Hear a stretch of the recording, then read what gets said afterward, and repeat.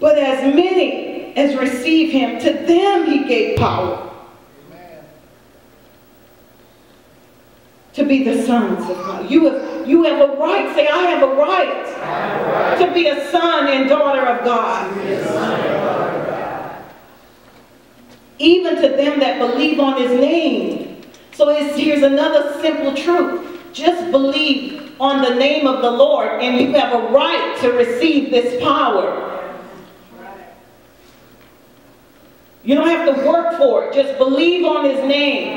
That's right. To, to as many, which means it's unnumerable. It's, un, it's you can't even the number can't even be counted. It's unlimited. To as many who believe, right.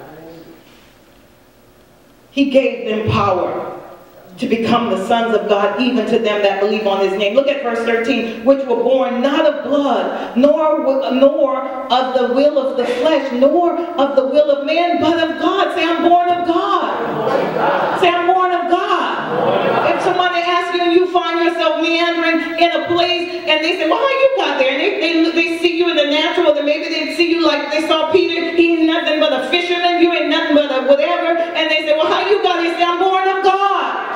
God gave me power.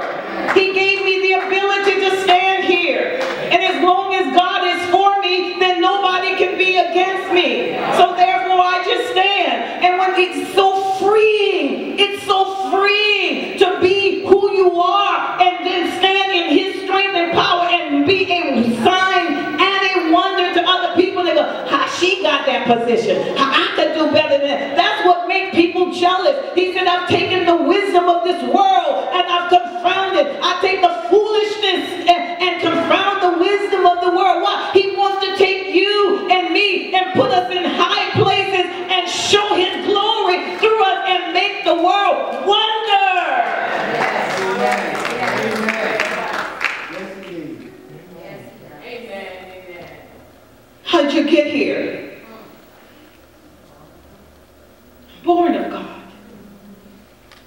He told the man who was delivered, demoniac that was delivered, and he went and they say, well, how did that happen to you? He said, I don't know. Jesus did it.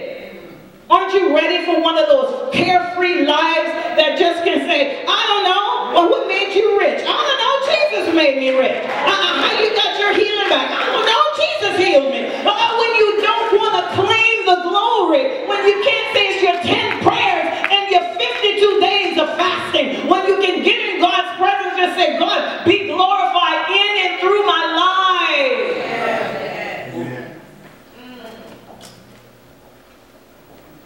How'd you get to live here? I don't know. Jesus told me move here.